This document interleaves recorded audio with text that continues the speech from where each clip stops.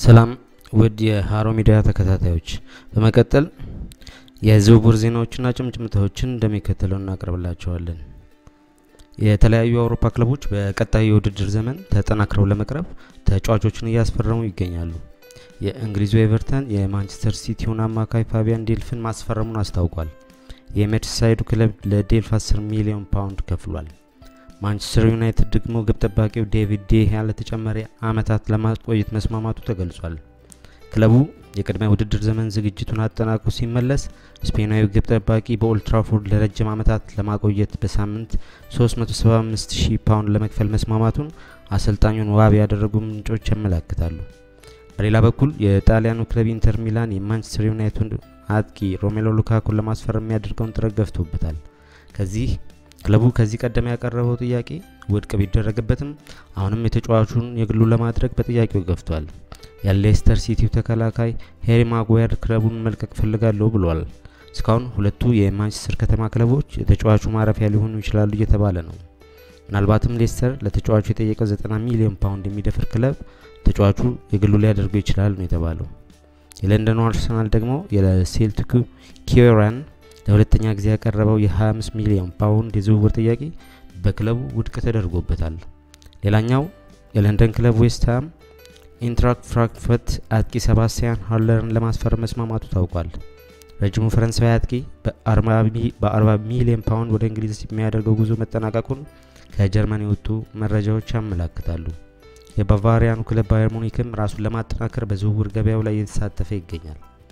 ከጀርመን የሚወጡ መረጃዎች ክለቡ የማንቸስተር ሲቲው ሌሮይ ሳኒ፣ ያኒክ ካራስኮ፣ የቼልሲው ካሉም ሀድሰን ኦዶይን ለማስፈረም እየተንቀሳቀሰ ስለመሆኑ ያስረዳሉ። ከበርካታ ክለቦች ጋር ስሙ ሲነሳ የቆየው ማቲያስ ዲ ሊት ጉዳይም ፍጻሜ ያገኘ ይመስላል። እስካሁን የጣሊያኑ ክለብ ጁቬንቱስ ማረፊያው ነው ቢባልም ክለቦቹ በዝውውር ጉዳይ በዛሬው ዕለት ስለመስማማታቸው ተሰምቷል።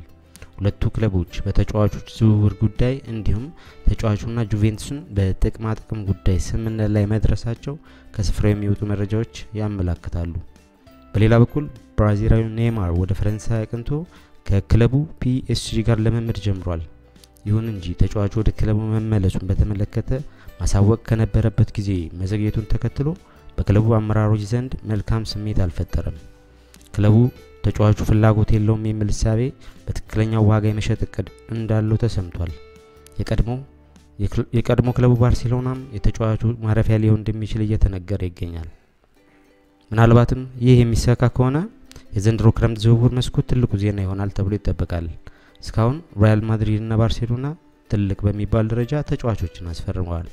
ማድሪድ ኤደን ሃዛርድ እና ሉካ ጆቪችን እንዲሁም ኤደር ሚሊታኦን ሲያስፈርም ባርሴሎና የአያክሱን ደ ዮንግ እና አንቷ ግሪዝማንን ወደ ክለቡ አምጥቷል። ከዚህ ባለፈ የጣሊያኑ ጁቬንቱስ ራምሴን፣ አድሪያን ራቢዮትና የቀድሞ የክለቡን ግብ ጠባቂ ጂያንሉጂ ቡፎን በድጋሚ አስፈርመዋል። ወደ ሌላው መረጃ ስንሸጋገር የአፍሪካ ዋንጫ ፍጻሜ ጨዋታ አልጄሪያ ከሴኔጋል ይደረጋል። በግብጽ አዘጋጅነት ለአንድ ወር ሲካሄድ የሰነበተው የ2019 አፍሪካ ዋንጫ ፍጻሜ ምዕራፍ ላይ ደርሷል። የዋንጫ ጨዋታው የፊታችን አርብ በታላቁ ካይሮ ስታዲየም ሴኔጋል ከአልጄሪያ ያደርጋሉ። ዋንጫው ለሴኔጋል ወይስ ለአልጄሪያ? በተያያዘ ዜና የአፍሪካ ዋንጫ የፍጻሜ ጨዋታ የፊታችን አርብ በታላቁ ስታዲየም ሴኔጋል ከአልጄሪያ የሚያደርጉትን ጨዋታ በዋና ዳኝነት ከሙሉ ፈገግታው ጋር አርቢትር በአምላክ ተሰማ እንዲመራው ካፍ ወስኗል። አርቢትር በአምላክ በሴኔጋልና አልጄሪያ መካከል በካይሮ ዓለም አቀፍ ስታዲየም የሚደረገውን ጨዋታ በመሀል ዳኝነት እንዲመራ መመረጡ ያገኘነው መረጃ ያመለክታል። በአምላክ የአፍሪካ እግር ኳስ ኮንፌዴሬሽን ካፍ የአርቢትሮች ምደባ ኮሚቴ ባደረገው ስብሰባ ጨዋታውን እንዲመራ በሙሉ ድምፅ መርቶታል። በግብጽ አስተናጋጅነት እየተካሄደ የሚገኘው 32ኛው የአፍሪካ ዋንጫ 24 ብሔራዊ ቡድኖች የተሳተፉበት ሲሆን የፊታችን አርብ ፍጻሜውን ያገኛል።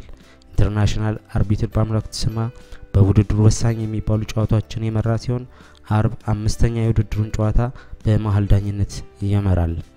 ለዛሬ ያዝነላችሁ ስፖርታዊ መረጃዎች ይህን ይመስላሉ። አሮ ሚዲያን subscribe በማድረግ ትኩስና አዳዲስ መረጃዎችን ያግኙ እያለን ሰናይ ጊዜ እንመኛለን። ቻው